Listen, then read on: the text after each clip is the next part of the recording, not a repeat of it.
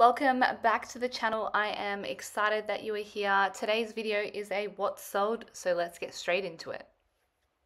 Okay, so I had 14 orders over the weekend. So the weekend was quite good for me. I am not a high volume seller. I am aiming for a high ASP.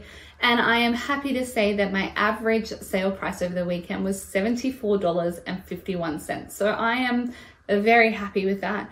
You will see from the collection that I have around me that there's been some really good sales and some not so good sales that I am just glad that these items are getting out of my store because I don't want them. So let's go through the 14. So before I start, I'll let you know that normally my items are pre-packaged in satchels in my system, but I've taken them all out today so that I can show you what sold so that you can get an idea of what is selling on eBay. So first up, we have this Sass by dress.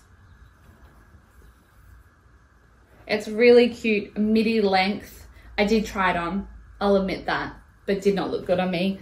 So this one sold for $40 and I ended up with $21 and $92 profit. Um, and it only took nine days to sell. So this one actually had, I think, about 14 watches on it, which I was so surprised about. I, I find that Sass and Bide is a bit hit and miss sometimes, but uh, nine days, very happy. I probably paid maybe a tad bit too much for it. I did pay, I think, 12 or $14, but I still hit my target of over $20 profit. And I still want more than that, but I'll take $20 and a nine day turnaround time. Next up is just a pair of corporate pants. Corporate black pants by Veronika Maine. I I probably stopped picking up this kind of pant, but it was in my death pile. I picked them up for, I think, $3. I sold them for $29.99, so I still had a profit of $23.70. And they were in my death pile, and they only sold for um, after nine days as well. So a really good turnaround time for 20 bucks profit. But will I pick them up religiously like that? Probably not. They just don't give me joy to sell. So I'll leave them to someone else. So next up is this a Trenery dress.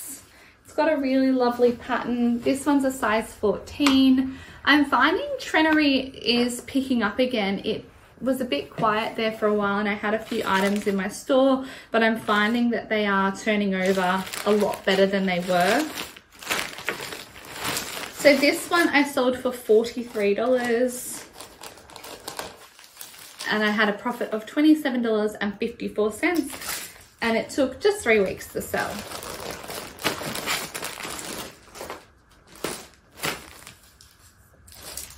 The next item is really cute. I picked this one up in Adelaide last year when I went for a thrifting trip with Cass. Um, this one's um, a Curate by Trelise Cooper. It's a little cardigan with dragonflies on it. I also delayed in listing this one. I obviously have an issue with my death pile. Um, it still took four months to sell. So would I pick it up again? I probably take a hard look at it. Four months is probably on the cusp for me of probably leaving it behind. I ended up selling it for $79 and I got a profit of $38.26. So I actually bought it for $25. So I definitely paid up for it. Um, and I think even it took four months to sell, I'd probably leave it behind next time. But it's a cute sale and I'm glad that someone's someone's gonna get to wear it because it's in like like new condition. All right, this one I'm so happy is going out of my store. It only took two weeks to sell, but I didn't check it over all that well when I purchased it. It is like a drape cardigan kind of top. It's by Dogstar, um, but it has a few imperfections on it, which I listed. I ended up selling it for $40 I got a profit of $29.29, which given the the state of it, I think is pretty darn good. But I am worried that the buyer is going to complain. I'm hoping that they looked at all the photos and the description and I don't get a return. But it's always something that I'm concerned about when I list something that has flaws. So we'll see. We'll see. Hopefully it doesn't come back. Hopefully it just goes and gets loved and they have no issue. So this is an item that I probably wouldn't pick up again. It is a floral jumpsuit by Dish. So Dish is having a run at the moment, but jumpsuits just aren't my thing. I find them so awkward to photograph and I just, I just don't think they ever look good. So I'm pretty happy that this one has sold. Um, it sold for $35 uh, on offer. Um, my profit was $22.53 and it only took five days to sell. So I probably should be open to purchasing the same thing again. But yeah, I just, it just, I just looked at it and I didn't want to photograph it. So I'll consider it, but I think it's something that I'll probably leave behind in the future. Another dress, this one is by Dangerfield. This one has been sitting in my store for way too long and I'm again I'm glad to see it go. It's so cute. I have a love-hate relationship with Dangerfield and Revival actually. They have some a gorgeous prints but some of the stuff just seems to sit around forever and I don't understand. I don't understand how someone can't love it so this one I ended up taking an offer of $29 my profit was $19.36 and it sat around for four months so happy, but moving on. Something a little bit different. I sold this Rapha cycling jersey. I picked it up for $6 and I sold it for 45 which leaves me a profit of $29.35. This one sold same day. So can never, never be mad. I'll pick that up every day of the week. So a brand to be on the lookout is called La Boheme Girls. So I have heard of this brand, but I've never found it in the wild. I paid a $14 for this animal print maxi dress. It's a one size fits all. Um, and I sold it for $125 on offer. It took six weeks to sell, so not a bad turnaround time. And my profit was $97.33. So I'm more than happy to wait six weeks for a nearly $100 profit. So I feel like I've been talking about a few things that I probably wouldn't pick up again. And here's another one. So these are 511 tactical pants. They're just women's work pants. I sold them for $30 and they gave me a profit of $17.57 but they took five months to sell so these are not my jam I didn't have many tops uh, sell over the weekend, but I did have this little country road number. This one is 100% French linen with some really cute ruffle sleeves. It sold uh, on offer for $40. I made a profit of $27.90 and it only took three weeks to sell. So pretty good.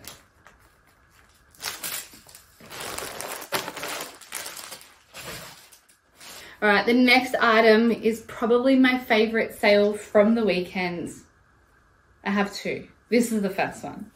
So this is a vintage RM Williams snap satin shirt. It is so cute. It's so gorgeous. I just love the fact that it's so vintage with the old Longhorn tag. This one I took an offer of $112.49 and my profit was $95.50. It only took a week to sell and I'm actually surprised it took that long because usually vintage RM sells really, really fast, but I am very, very, very happy with this sale. I'm actually going to wrap it in some tissue paper just to protect it on its journey to its new owner.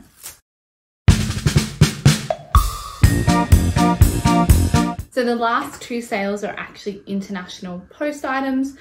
If you don't have international post turned on, you need to do so. I average on probably two to 10 parcels a week, to be honest, overseas. So it's definitely worth it. Um, So the first one is this Sportscraft Liberty dress. This is 100% linen. This is actually going to a buyer in the States who has bought off me, I'd say probably five or six times. They're a really regular customer for my Sportscraft Liberty. Uh, so this one's going to them. So that Sportscraft Liberty dress sold for $55 on offer. I made a profit of $44.73. And that one sold same day.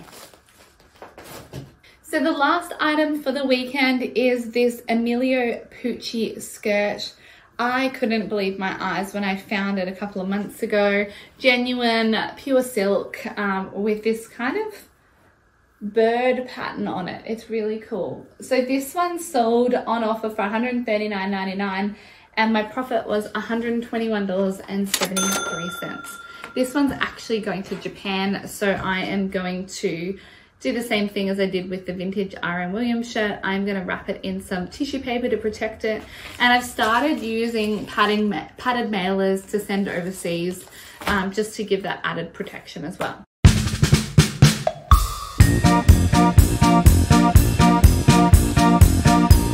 Okay, so everything is packed and post ready to go to the post office. So out of those 14 orders, I ended up selling $843 in uh, items and my profit ended up being $618. So very happy with those weekend sales.